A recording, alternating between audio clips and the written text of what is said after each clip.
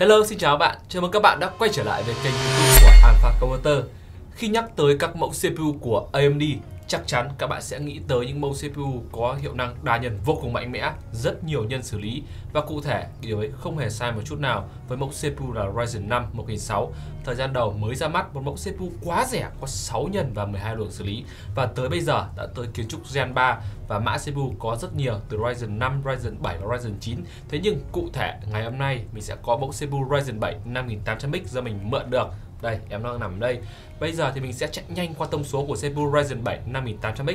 Đây là một mẫu CPU có 8 nhân 16 luồng, xung nhịp cơ bản đạt 3.8 GHz và xung nhịp boost tối đa là 4.7 GHz và được sản xuất trên tiến trình 7 nanomet FinFET.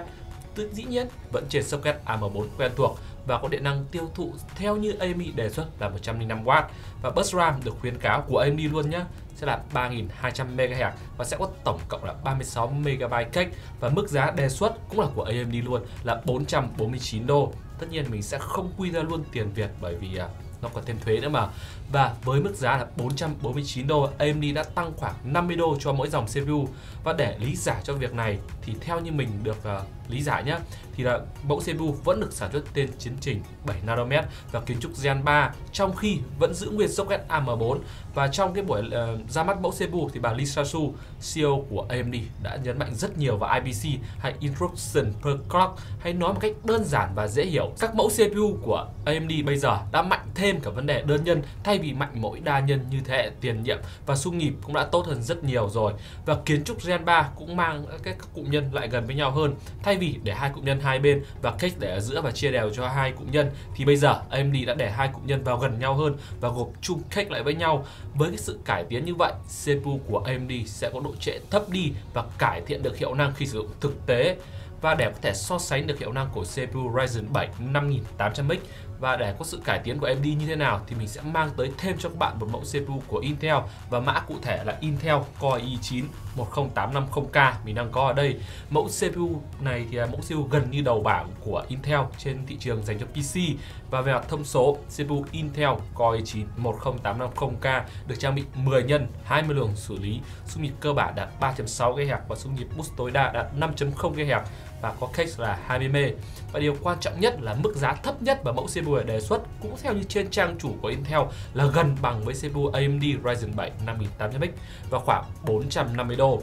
Và điều kiện test thì mình sẽ sử dụng hai mẫu main đến cùng phân khúc của Acer đây, main mình đang có ở đây và hai thanh RAM bus 3006 và trong lần test đầu tiên đầu tiên thì mình sẽ dùng 3006 và tuy nhiên sau đấy thì một chút nữa các bạn sẽ biết và BIOS đương nhiên mình sẽ phải update mới nhất.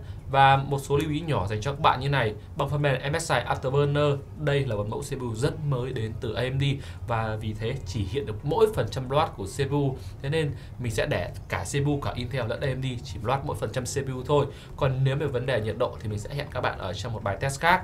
Với bài test Cinebench R20 CPU AMD Ryzen 7 5800X và Intel Core i9 10850K đều cho điểm số tương đồng với nhau. Và trong bài bài test đa nhân, điều mà rất hiếm khi có thể xảy ra mà trong khi đấy CPU Ryzen 7 5800X ít hơn đến tận 2 nhân khi so với Intel Core i9 Vậy là 1-0 dành cho CPU của AMD Sang tới bài test đơn nhân, Điều bất ngờ đã xảy ra khi mà điểm đơn nhân của Intel đạt 464 điểm và AMD cao hơn khi đạt tận 590 điểm. Vậy là 2-0 nghiêng về bên phía của AMD. Sang tới một tựa game, tựa game sẽ là Assassin's Creed. CPU AMD Ryzen 7 5800X đã thể hiện được kiến trúc Gen 3 mang tới được những gì khi mà FPS Max cao hơn đáng kể khi so với Intel. Thế nhưng CPU của Intel cũng đã thể hiện được sự ổn định khi mà mức drop FPS thấp hơn AMD. 3-0 dành cho AMD. Tiếp tục với Far Cry 5, CPU Intel Core 9 10850K đã thể hiện tốt hơn khi FPS giữ ổn định xuyên suốt trong quá trình benchmark. CPU của AMD cho mức FPS cao tương tự, thế nhưng cái mức FPS min lại thấp hơn bên phía của Intel. Vậy là một điểm dành cho Intel. Tựa game cuối cùng trong bài test hai mẫu CPU Ryzen 7 5800X và Intel Core i9 10850K là Watch Dogs Legion. Khi mà tất cả setting đều được bật hết, kể cả Ray Tracing lẫn DLSS, thì CPU của AMD cho ra mức FPS và ổn định khá tốt. Thế nhưng CPU của Intel vẫn nhỉnh hơn về mặt tổng thể FPS, dù cách biệt là không quá lớn. Vậy thì mình sẽ cho một điểm này cho Intel.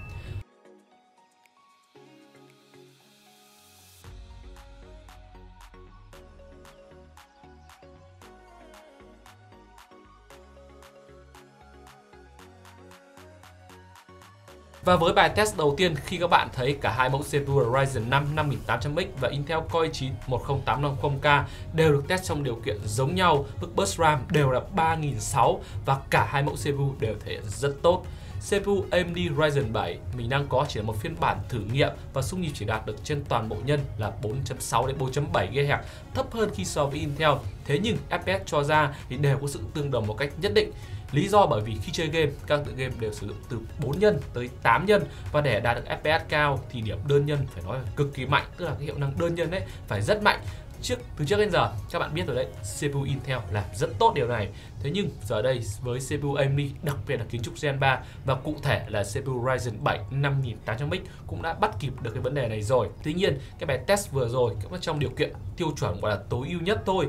Vậy thì ngay bây giờ mình sẽ đưa các bạn tới một bài test khác. Đó cho mình sẽ hạ bus RAM xuống từ 3600 xuống 2666 để xem cái mức độ ổn định của cả hai mẫu CPU này sẽ như thế nào nhé Dĩ nhiên, bắt đầu vẫn là Cinebench R20. Khi hạ bus RAM xuống thì điểm số đa nhân của CPU AMD đã giảm đi khoảng 10%, còn bên phía Intel vẫn cho điểm số là gần như không thay đổi, thế là 1-0 dành cho Intel. Tiếp tục với bài test đơn nhân thì CPU của AMD và Intel thì đều không bị ảnh hưởng. CPU Ryzen 7 5800X vẫn cho một điểm số cao hơn. Vậy kết quả đã là một đều. Sang tới tựa game Assassin's Creed, ngay khi mình hạ bớt RAM xuống thì mức FPS trung bình với min của cả hai mẫu CPU của AMD và Intel đều có sự tương đồng. Thế nhưng không hiểu vì sao bằng một cách thần kỳ nào đó FPS Max vẫn cao một cách đáng kinh ngạc của mẫu CPU Ryzen 7 5800X 21 nhìn về bên phía của AMD. Sang tới Far Cry 5, sự chênh lệch giữa CPU Ryzen 7 5800X với Intel Core i9 10850K gần như là không có sự khác biệt thì mình sẽ để kết quả là wow. Và cuối cùng sẽ là Watch Dogs Legion, CPU Intel Core i9 10850K đã thể hiện được sự ổn định của tiến trình 14 nm với mức FPS gần như là không có sự thay đổi quá nhiều. Tuy nhiên thì ờ, nó sẽ thay đổi thôi. Mình vẫn đánh giá là CPU của Intel có một sự ổn định khi so với CPU Ryzen 7 5800X thì CPU Ryzen 7 5800X mức FPS có giảm một chút nhưng không đáng kể và kết quả sẽ là hòa 22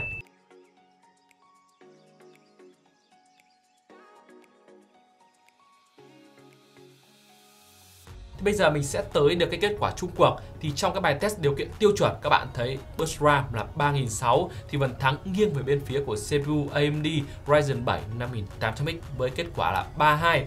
Thì với bài test hạ bus RAM xuống 2666 thì kết quả lại hòa và tổng kết lại thì mình sẽ đánh giá điểm ra là 54 và phần thắng sẽ nghiêng về bên phía CPU Ryzen 7 5800X. Dĩ nhiên, bài test chỉ mang tính chất tham khảo và cho vui vẻ một chút thôi. Kết quả dĩ nhiên vẫn có thể thay đổi thuộc tùy vào mức thời gian test CPU và phiên bản mình đang có. Đây chỉ là phiên bản hàng sample. Có thể sang phiên bản chính thức hiệu năng sẽ thay đổi có thể mạnh lên và yếu đi. Và lời nhận xét cũng như là khuyến cáo của mình dành cho những bạn chuẩn bị mua CPU Ryzen 7 5800X đó là các bạn nên sử dụng bus RAM phải nói là cực kỳ cao. Tối ưu nhất là từ 3200 đến 3600 để không lãng phí hiệu năng. Còn đối với những bạn nào mà mua CPU của Intel ví dụ như Intel Core i9 10850K thì dĩ nhiên bus RAM nên từ 3 gọi là 3000 MHz bởi vì CPU đã hỗ trợ 2933 rồi. Các bạn lắp một mẫu ờ, bus RAM thấp hơn thì khi các bạn chơi game FPS có thể là không thay đổi nhiều để ảnh hưởng tới trải nghiệm của các bạn. Thế nhưng khi các bạn làm việc thì đấy sẽ là một câu chuyện hoàn toàn khác. Vậy thì các bạn muốn mình làm thêm gì về mẫu CPU mới này không? Hãy để lại bình luận cho chúng mình được biết. Và đừng quên bấm like, share cũng như subscribe kênh youtube của Alpha Converter để không bỏ lỡ bất kỳ video clip nào chúng mình tung ra trong tương lai. Hẹn gặp lại các bạn ở trong những video sau.